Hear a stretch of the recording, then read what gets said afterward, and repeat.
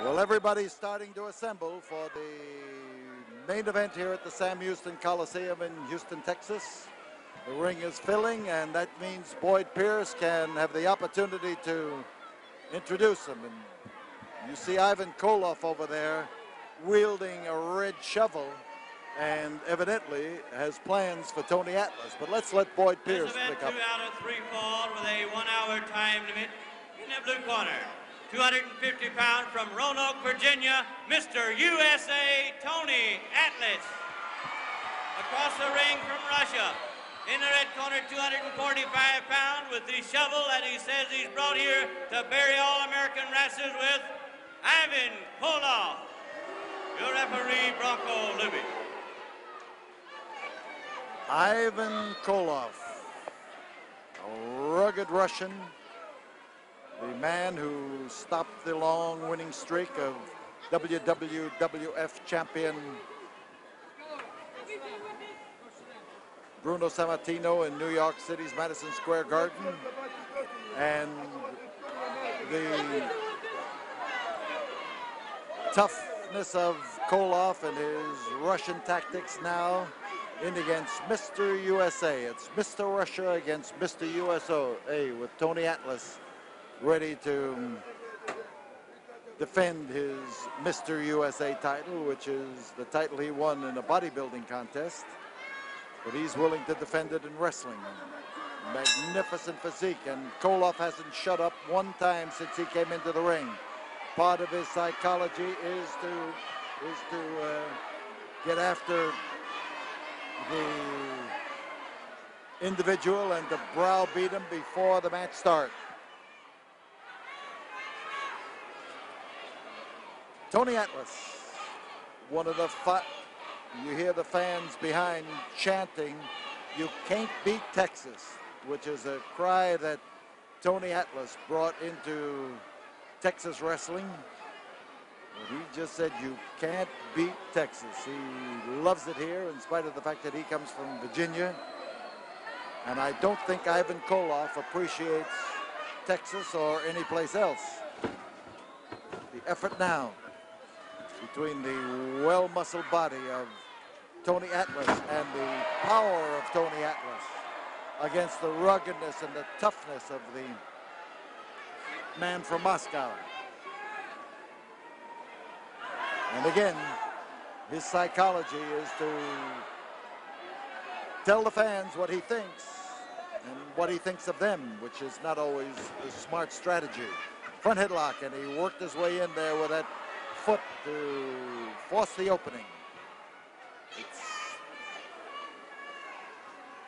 Tony Atlas caught now in a grinding front headlock, and that can be a grinding hold. It's one of those things that really can cinch up on you as you move, and every move you make, you've got a forearm stuck alongside your jaw, and you're grinding your teeth together.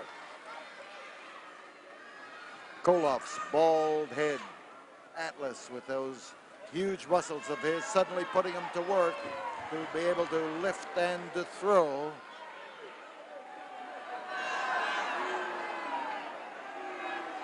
And again, Koloff claims that everything that's happened to him has happened to the garment that he's wearing, but it ain't necessarily so just because Koloff makes the claim.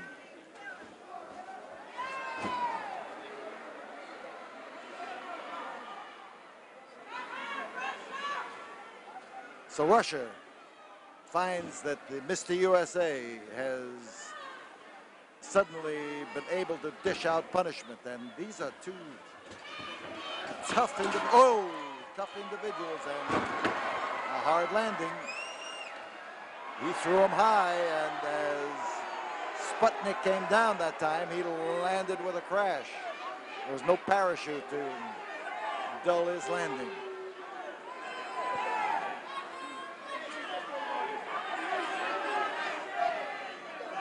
Constant sparring here for openings. Each of them wants to win this first fall. It's always good to be a fall ahead. And Koloff, of course, is a veteran of wrestling on several continents, several styles, Greco-Roman, catch as catch can, American style and European style, and there are differences. Here is a test of strength.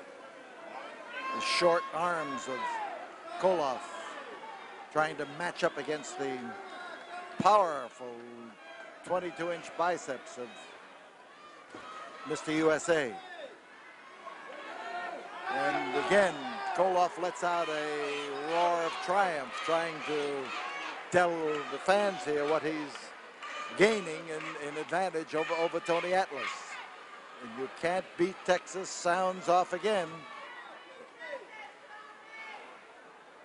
So Atlas, shoulders close. You see the referee looking, shoulders down, two, and not quite. As Atlas now starts to get into trouble, he exerts the power. Look at that body. Look at that arm. That left arm of his is the one he's really using. And the fans giving him the go, go, go signal. And Tony comes around from an almost impossible position to even things and to stack up against Ivan Koloff.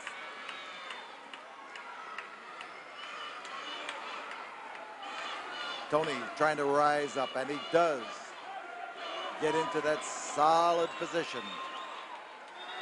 And now he's got the advantage, and with his height, he's going to have a definite advantage as he puts the pressure onto Mr. USSR.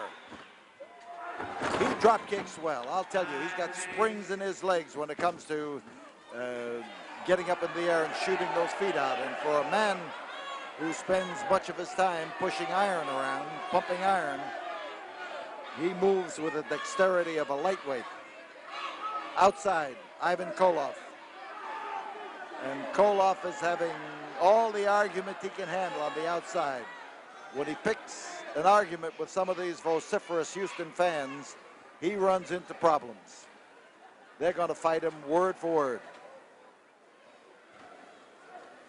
Double wrist lock for Ivan Koloff as he takes that powerful right arm and tries to put the twist on it to turn it up behind the back of Tony Atlas into a hammerlock. But he is stopped. Tony gets feels that arm going up there, but he's exerting pressure. He has nothing to exert it with except his arm, whereas the two arms of Koloff are really working him over. And here come You Can't Beat Texas is resounding all over this place. Tony Atlas, and he makes a switch. Japanese arm block, and he takes him down. A good switch by Tony. He waited his turn and then made the turn. He's got a figure four arm block right now. Good position. And again, the Russian mouth keeps sounding off and he tells the referee what he ought to be doing. Koloff is a torrent of invective as he stays up in that ring and fights off everything that's done with a babble of words and a tough attack. Nice work by Tony. Good, nimble work, and he comes over there beautifully. Long been an argument among people who don't lift weights and don't believe in lifting weights that weightlifting ties you up and inhibits your muscular movement. But they've never seen Tony Atlas in action.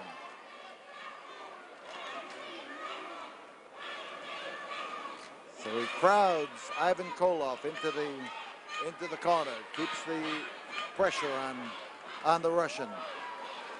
And the Russians becoming upset that the at the you can't beat Texas behind us. He's telling him to shut up.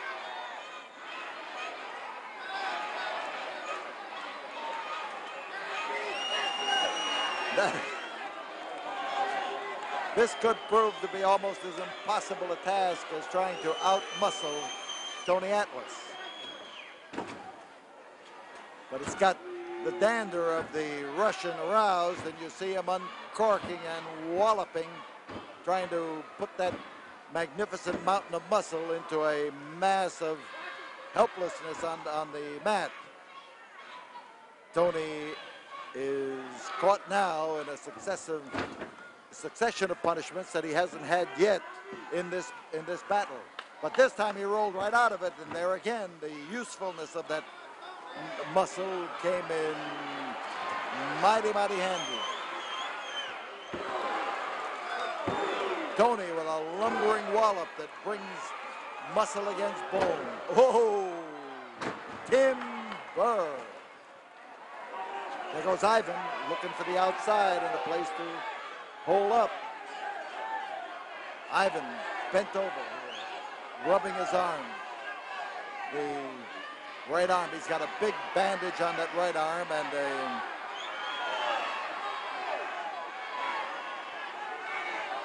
and an arm guard such as you might wear on an elbow or a knee.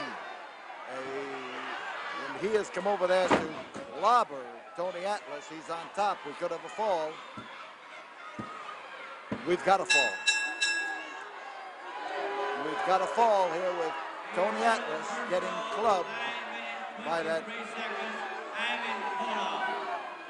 He was clubbed by that right arm of Ivan Koloff, who looks particularly well pleased with his accomplishment of, with one blow, laying out Tony Atlas and putting him down on that canvas. The first fall of this two out of three fall match has gone now to the Russian, Mr. Russia, and he's claiming that he's got a sore arm as Bronko Lubich tries to feel it. We'll be back here in a moment after we have this word from the studio. The community can give but time and money the peace officer can give his life. Join the 100 Club. This is Channel 39 KHTV Houston.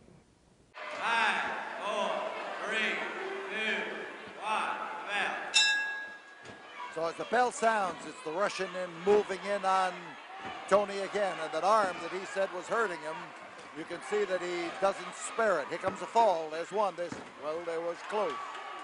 He was trying to follow up on the concussion of the first fall by adding to Tony Atlas's woes in the second.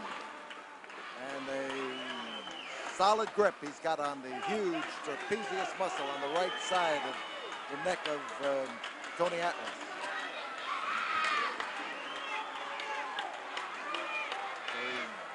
Big Tony trying to fight off the grip, and he's got plenty there to grab. And of course, that that's what the problem is right now, as he lays it in there and puts the big squeeze. And Tony's having his tough moments. Ivan Koloff raring in there and trying to literally push him through that canvas. This could be it.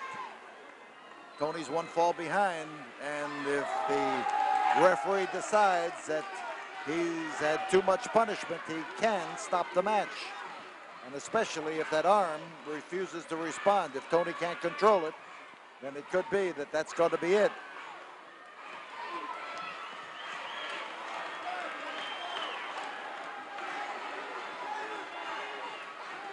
Looking at the Russian as he bears down on the big trapezius muscle of the boy from Virginia, Tony Atlas. Mr. USA is starting to rise. He's starting to get everything together, calling on all those muscles to mount an attack. And as he does, he's going to make it difficult for Koloff to hang on to that grip. The fans are with Atlas. They are screaming. They have changed from you can't beat Texas to just giving him a go. Come on, go. Come on, go. And Tony now, as he stands straight, whoops, he's brought down now where Koloff can work on that muscle again. And referee Bronko Lubich comes in there to, to question him.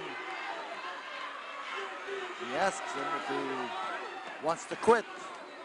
Usually he asks him a question where that if he says no, it means he does not want to quit. You can't ask a man questions where he's going to have to think under these circumstances.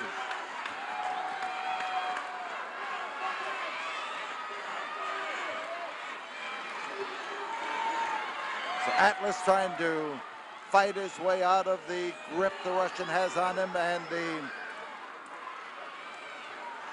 powerhouse rises to his feet. He is up and he swings that elbow well.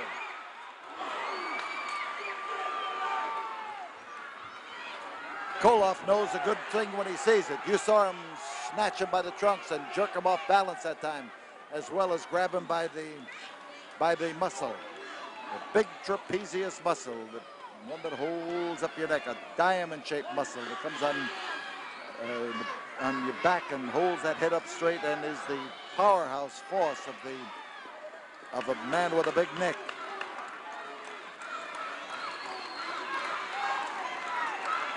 So Atlas held that arm up. You couldn't see it because the body of Koloff was in the way. But as he, as Tony fights it off, you see him now working hard to get into position.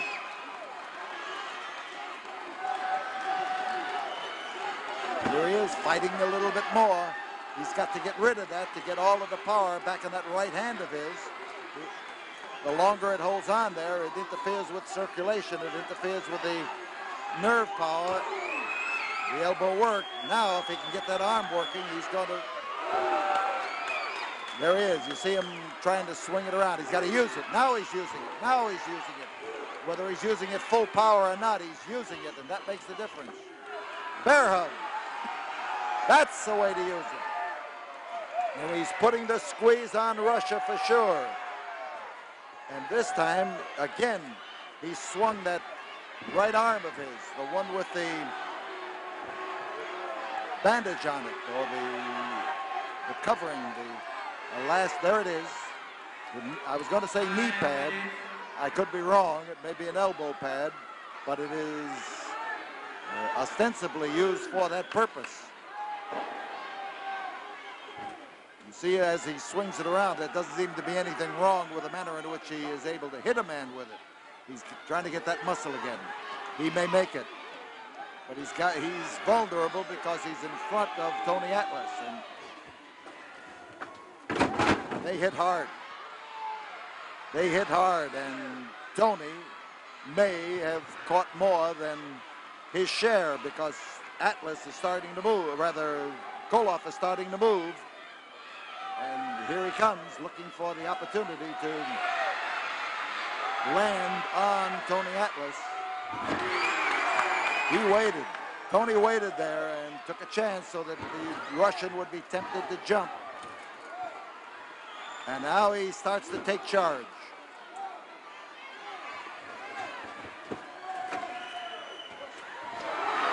And Koloff that time may have gotten a real injury on his shoulder. I don't know whether that one on the right arm is real or just a guise to permit him to use that covering on his arm. He, the equalizing fall goes to Tony Atlas with a combination of things that he does well. So Tony, Tony Atlas evens things he took a lot of punishment in that fall, but there is still one fall to go, and this roughhouse match here. The, now the people are starting to complain, uh, telling Tony about that forearm, about the bandage on the forearm, and telling the referee. And the referee gets around there to look at it, and he says it hurts. The, the Russian says it hurts. The fans start screaming and screaming more. We'll be back here in a moment after we have this word from the studio. Have you ever had your brakes checked? I think you need a brake check. Did you know the brake check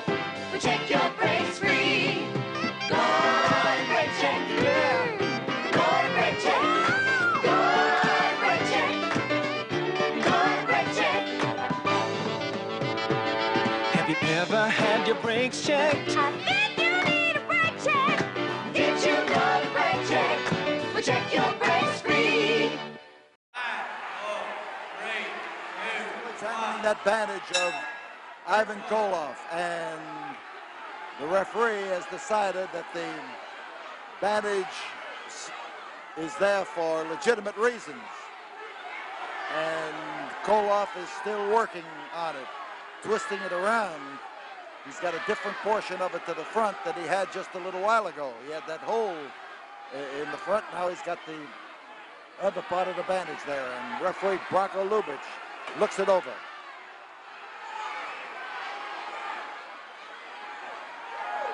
And the fans are up in arms and trying to get the referee to to act. And here is Atlas trying now to uncork on Ivan Koloff, and uncork he does and lays it in there. His driving, diving headbutt. There's one. There's well, we had part of it, but we didn't have enough of it. And Tony is after the after the bandage, and he caught a wallop with that bandage on that on that on that bicep. Oh, solid wallop. And the Russian comes in to try to set him up. There he is, setting him up for the clothesline, but it didn't work. But that worked, and it worked solid and worked hard. He's going after the bandage again. He's trying to get it off. He's got it off. He's got the the bandage off, and at least he has. Un- there, he's got it now, and it's in Tony Atlas's hand, and he is now going after Ivan Koloff with it. Koloff suspects the worst as he starts after him.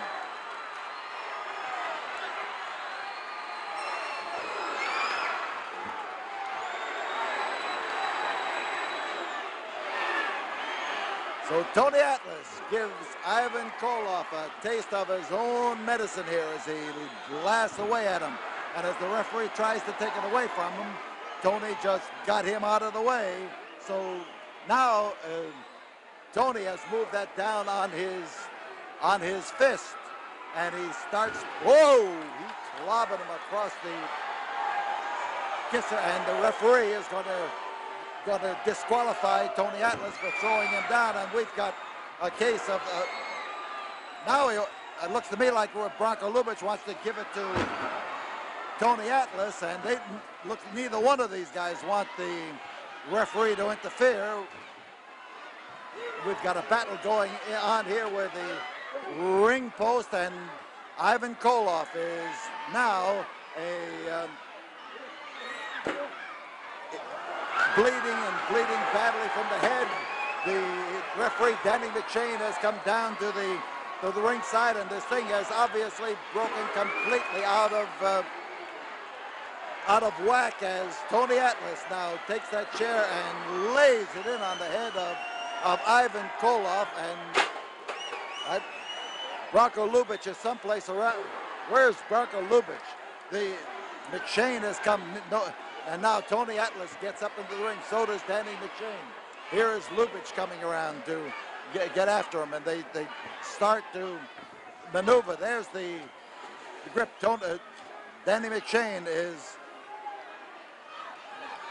not uh, able to do that. Well, it looks to me like the referees are uh, not able to get this under control, and it's Koloff and Atlas as, as everything has busted wide open, and I McShain can't hold him, and again Tony Atlas has that bandage in his hand. Here comes the Cam- La- Camela Diablo and number one and number two as they try to uh, put a stop to to this and get it under control. I, I don't know what decision has been made, but we've got wrestlers up into the ring trying to uh, put a stop to it, and they finally have uh, Atlas uh, under control for a while, and he has come in here to blast away at Ivan Koloff, and it has busted loose again. And the there's the Russian, Mr. Russia being held, and the up here they've got, and the Russian is throwing people around. And the Russian just caught it from Tony Atlas. Oh. No.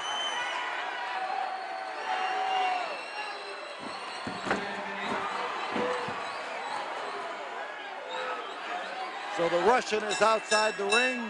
The- Referee Bronko Lubich has disqualified both men. Both men have been disqualified here in this third and final fall of this wild battle here at the Sam Houston Coliseum, and you're looking at the face of Mr. Russia as he tries to get back up in that, that ring where Tony Atlas is waiting, and the, uh, the Diablo twins are trying to hold him loose keep him from getting into the ring. McShain trying to step in front of him, and the Russian is trying to get in, and Tony is more than ready. He's telling him to pick up that weapon that, that, that he struck him with. And things have not quieted down, not at all, as the Russian here kicks his way loose. We've got Atlas and Koloff all over again, and Well, the battle is over, but you'd never know it. And Atlas again blasts away at Ivan Koloff. Tony Atlas trying for a high dive, and there goes the Russian, holding onto his head, and he's off here on the concrete.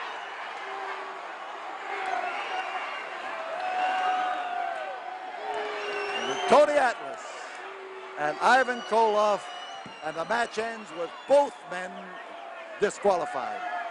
That is a wild, wild scene. We'll be back here in a moment after this word from the studio.